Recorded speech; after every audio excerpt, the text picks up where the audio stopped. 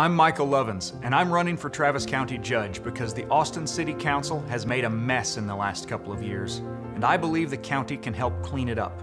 Terrible decisions by local government have given us homeless camps all across town that are unsanitary and unsafe for everyone, especially the homeless. The Austin City Council voted to defund the police. They claimed they were just moving money around, but Chief Manley told us the truth that their actions will result in 150 fewer police officers. It's no surprise crime is already rising quickly.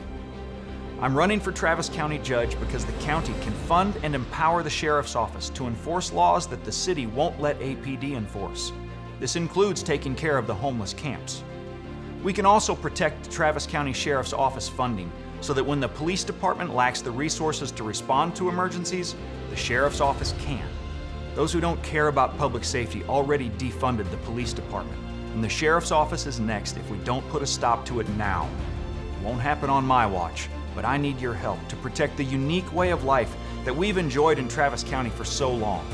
My name is Michael Lovins, and I'm asking for your vote, I'm asking for your support. Travis County is getting dangerous. Let's get back to just being weird.